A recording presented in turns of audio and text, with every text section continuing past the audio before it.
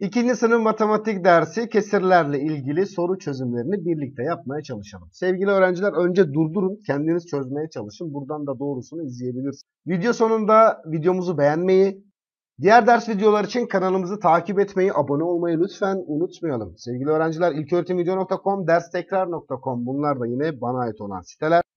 Oradan da yine konu anlatımlarını diğer dersler ya da hangi sınıf istiyorsan ee, onların konu anlatımlarını, soru çözümlerini, diğer değişik videoları bulabilirsin.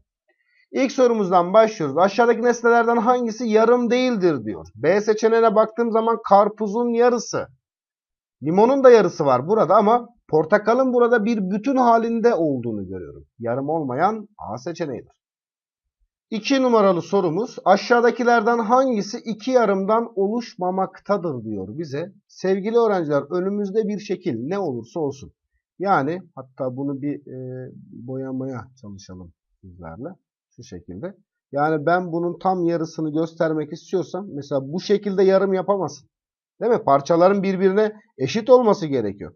Tam ortadan ikiye böldüğün zaman sol ve sağdaki parçaların birbirine eşit olduğunu görüyorum. Mesela A seçeneğinde daireyi çemberi ortadan ikiye bölmüş yatay bir şekilde. Burada da dikey bir şekilde bölmüş. A ve B seçeneği iki yarımdan oluşmaktadır ama yani karşı tarafa gitmemiş bile artı oluşan parçalar birbirlerinin aynısı eşiti değildir maalesef. Doğru cevabım C seçeneğidir.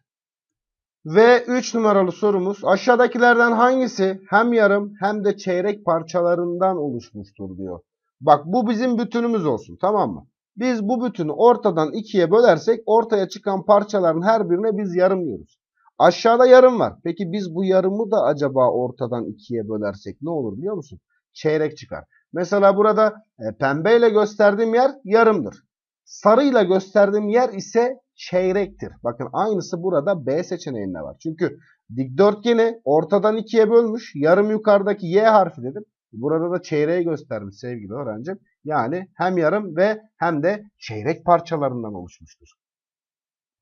Ve 4 numaralı sorumuz aşağıdaki şekillerden hangilerini birleştirirsek bir bütün elde ederiz. Bir bütün elde etmek için iki tane yarımın bir araya gelmesi gerekiyor sevgili öğrenciler. İki yarım, iki eşit yarım. Mesela buraya baktığım zaman kareler birbirinin eşiti değildir. B seçeneği gitti. C'de de biri üçgen, biri dikdörtgendir. Ama şöyle yapabilirim mesela. Ben buradaki parçayı aldım sevgili öğrencim şöyle kenarda kalsın. Buradaki parçayı da ters döndüreceğim. Bakın ters döndürdükten sonra şu tarafa doğru getirdiğimde ortaya bir bütün çıktığını sen de fark edebilirsin. Doğru cevabım A seçeneğidir. 5 numaralı sorumuz aşağıdaki pastalardan hangisinin tamamı çeyrek parçalara ayrılmıştır? Çeyrek bir bütünün dörtte biridir. Dört eşit parçaya ayırırsan çeyreği bulursun. Mesela A seçeneğinde 1, 2, 3 evet 4 parçaya ayırmış. İyi de bu parçalar birbirlerinin eşi değil mi? Mesela 1 ve 4 numaralı parçalar birbirlerinin eşidi değildir ki. C seçeneğine baktığında da 1, 2, 3, 4 parçaya burada da ayrılmış ama bu parçalar birbirinin eşidi mi sevgili öğrencim? Mesela 1 numaralı olan parçayı getirdim. Sence 1 numaralı olan parça ve 2 numaralı olan parça bu ikisinin boyları, şekilleri aynı mıdır? Kesinlikle hayır. Ama B seçeneğine baktığım zaman birinci, ikinci, üçüncü ve dördüncü. Üç numaranın üzerinde bulunan mavi bir bütünün çeyreğini göstermektedir bize. Doğru cevabım B seçeneğidir. Ve 6 numaralı sorumuz. Yandaki şeklin ne kadarı boyalıdır diyor. Ben bu şekli şöyle ortadan ikiye ayrıldığını, eşit bir şekilde ayrıldığını görüyorum. Yani e, boyalı olan bölge ve boyalı olmayan bölge birbirinin aynısı eşit. Dolayısıyla ortadan ikiye bölünmüş yarısı kadarı boyalıdır diyebilirim. Cevabım A seçeneğidir. Ve 7 numaralı sorumuz aşağıdaki pastalardan hangisinin yarısı yenilmiştir diyor. A seçeneğinde bütün tamamı kalmış. C seçeneğinde çeyrek var ama B seçeneğinde yarısı yenmiş yarısı kalmış olduğunu görüyorum. Cevabım B seçeneğidir. 8 numaralı sorumuz. Yandaki küpün kaç parçası birleştirilirse geriye çeyreği kalır diyor bize. 8 numaralı sorumuz yarısı 5 olan sayının tamamı kaçtır diyor bize. Şimdi sevgili öğrenciler hani yarımı bulmak için bütün ikiye bölüyorsun ama burada ters işlem yapman gerekiyor. Lütfen dikkat edelim. Lütfen dikkat edelim. Şimdi bir bütünü yeşile boyadım. Tamam mı? Yarısını şu şekilde gösterdim. Buradaki ters işlem mantığını göstermeye çalışıyorum. Çünkü E, yarımı bulmak için çoğu öğrencimiz de burada o sayıyı ikiye bölmek için uğraşıyor. Yanlıştır. Yarısı 5 olan sayı, yarısı 5 olan sayının tamamı daha fazladır. Yani bir sayının bir parçasını vermişse tamamını daha büyük bir şekilde bulman gerekiyor. Dolayısıyla lütfen burada bölme işlemi yapmayın. Şimdi yarısına ben 5 dedim. E bu yarısı ve diğer yarısı birbirinin eşidi olmak zorunda değil mi? E dolayısıyla burada 5 ise diğerinin de 5 olması gerekiyor. Ben burada 5 ile 2'yi çarpacağım. 5 kere 2 de 10 eder. Doğru cevabım D seçeneğidir. Ve 9 numaralı sorumuz aşağıdakilerden hangisi yanlıştır? Tabi buradaki e, ifadelerle birlikte bize soruyorlar. Bir bütünde kaç yarım vardır? Bir bütünde kaç çeyrek vardır? Kaç çeyrek bir bütün eder tarzında. Onun için buradaki yargıları iyi bilmemiz gerekiyor. Şimdi bir bütünde iki yarım vardır diyor bize. İşte sana bir bütünüm. Ben oradaki bütününü boyamak da istiyorum. Ve iki yarım vardır. Ortadan ikiye bölersen evet doğru diyor. Değil mi? Her birinde e, baktığımız zaman burasına yarım y harfiyle gösterdim. Burası da yarım y harfiyle gösterdim. Bir bütünde iki tane yarım olduğu doğrudur. A seçeneğini eledik. Lütfen C seçeneğine iyi bak. Diyor ki 4 çeyrek diyor bir bütün eder diyor. Tamam hemen geliyorum. Onu da boyayalım sevgili öğrencilerim. Çeyrek. Şimdi çeyrek için öncelikle senin buradaki bütünü ortadan ikiye bölmen gerekiyor. Sonra çıkan parçaları da ortadan ikiye bölmen gerekiyor. Ve ortaya çıkan dört parçanın her birine çeyrek diyorum. Bakın burası çeyrek. Burası da çeyrek. Burası da çeyrek ve burası da çeyrek. E, kaç çeyrek var burada? 4 çeyrek. Peki biz bu bütünü 4 çeyreği bir araya getirirsek ortaya ne çıkıyor? Gerçekten bir araya getirdiğimizde ortaya bir tane bütün çıkıyor. Demek ki C seçeneği de doğrudur. Bakın iki tane yarım bir çeyrek eder diyor. Sevgili öğrenciler iki tane yarım işte mavi olan şekilde de görebilirsin. Bir çeyrek değil bir bütün eder. Onu karıştırmayalım. Bir yarımın içerisinde iki tane çeyrek vardır. O ayrı. Ama iki tane yarım bir çeyrek değil bir bütün eder maalesef. Doğru cevabım yanlış olan B seçeneğidir. 10 numaralı sorumuz yandaki pastayı çeyrek parçalara ayırmak için hangi yönlerden kesmeliyiz diyor bize. Ee, çocuklar daha deminki çeyrek ve bütünü gösterirken de bunu yaptım herhalde değil mi? Bir pasta yapalım mı? Pastamızın rengi bu sefer sarı olsun. Şimdi ben çeyrek göstereceğim. Dikkat et. Pastayı çeyrek parçalara ayırmak istiyorum. Ne yapıyorum? Bakın tam dik olarak ortadan ikiye kesiyorum. Tam dik olarak. Sonra çıkan parçaları da sevgili öğrencim tam yatay olarak ortadan ikiye bölüyorum.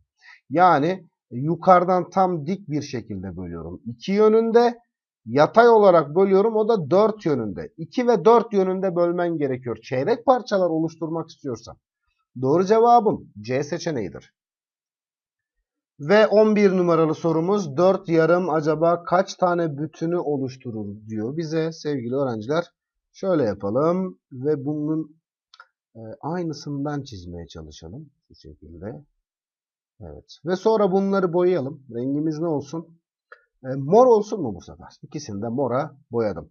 Çocuklar 4 yarım oluşturmam gerekiyor öncelikle. E, yataylamasına kesiyorum. Yatay bir şekilde. Ortadan ikiye kestim. Bunu da yine aynı şekilde ortadan ikiye kestim. Şimdi dört yarım oluşturalım. Değil mi? Sen kendin karar ver kaç bütün olduğuna ilgili. Yarım. Burada yarım. E burada da bir yarım var.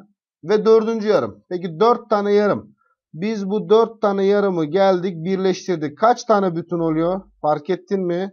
Birinci bütün ve ikinci iki tane yarım da birleştirsem bir bütün de bana oradan geldi. Oldu sana e, iki tane bütün. Doğru cevabım A seçeneğidir. 12 numaralı sorumuz 3 bütünde kaç tane yarım vardır diyor bize. Sevgili öğrenciler 3 tane bütün oluşturmak istiyorum. Bu sefer bütünlerimi dikdörtgen şeklinde oluşturacağım. E, aynısından bir tane daha yaptım ve aynısından bir tane daha yaptım. 3 tane bütünümü oluşturdum sevgili öğrencim. Boyayalım bir de bunları. Bu seferki rengimi açık mavi olsun. Şimdi 3 tane bütünümüzü oluşturduk. Kaç tane yarım var diyor. Ben bunları geliyorum şimdi ortadan ikiye şöyle böldüm sevgili öğrencim. Kaç tane yarım olduğunu bir bakalım. E, yarımlara Y harfini yapıyorum. Benle birlikte sayar mısın? Birincisi, ikincisi, üçüncüsü, dördüncüsü, beşincisi ve altıncısı. Demek ki 3 tane bütünde 6 tane yarım vardır. Doğru cevabım B seçeneği. Tabi şekilsiz de bunu yapabilirsin. Çocuklar ama e, şunu bilmemiz gerekiyor. Bir bütünde 2 yarım var. Bir bütün 2 yarım. O zaman 3 bütünü bulmak için benim burada 3 ile 2'yi çarpmam gerekiyor. Yani sen bütünü yarıma çevirdiğinde 2 ile çarpacaksın sevgili öğrenci. 3 kere 2 de 6 tane yarımı çarparak da hesaplayabilirsin. Ve 13 numaralı sorumuz 8 çeyrek kaç tane bütünü oluşturur diyor bize. 8 tane çeyrek oluşturacağım sevgili öğrenciler. Bakın e, bir bütün tabi burada bölme işlemiyle de yapabilirsin sevgili öğrencim.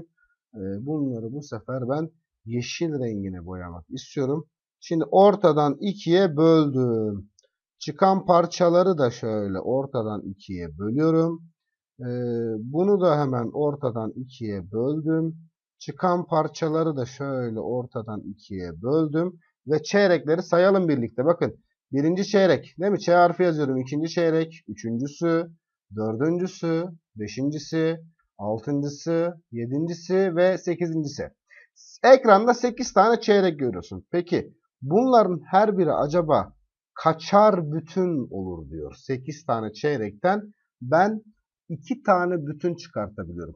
Çocuklar bunu bölme işlemiyle de bulabilirsin. 8'i 4'e böleceksin. Neden? Çünkü her 4 çeyrek bir bütündür. Yani e, çeyrekleri bütüne çevirmek için 4'e bölmen gerekiyor. 8'de 4 2 kere var. 2 tane 4 8 eder. Çıkarttım ve 0'ı buldum. 14 numaralı sorumuz 4 bütünde kaç tane çeyrek vardır diyor bize. Hemen yapmaya çalışalım. 4 bütündeki çeyrek sayısını bizden istiyor. Yapalım sevgili öğrencim. Bu bizim birinci bütünümüz. İkinci, üçüncü, dördüncü bütünlerimiz. Bu sefer de turuncuya boyamak istiyorum her birini. Acaba kaç tane çeyrek var bakalım. E, ortadan ikiye böldüm. Sonra çıkan parçayı da ortadan ikiye böldüm. 4 çeyrek çıktı.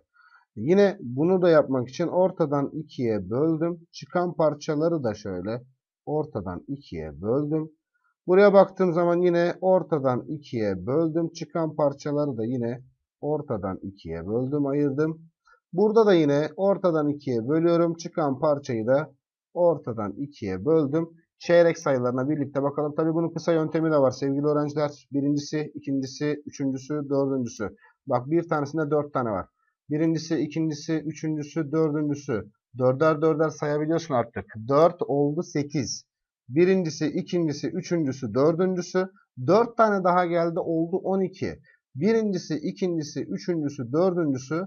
Dört tane daha geldi oldu sana 16. Doğru cevabım B seçeneğidir. Ama diyeceksin ki bir bütünde 4 çeyrek varsa 4 bütünde 4 çarpı 4 çeyrek olur. 4 kere 4 hani 4 tane 4'ü yazıp 16'yı bulmak yerine kısa yoldan 4'leri 4'ü çarparak 16 sonucuna ulaşabilirsin.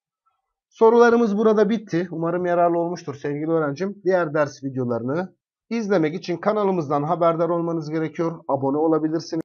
Video sonunda videomuzu beğenmeyi lütfen unutmayalım.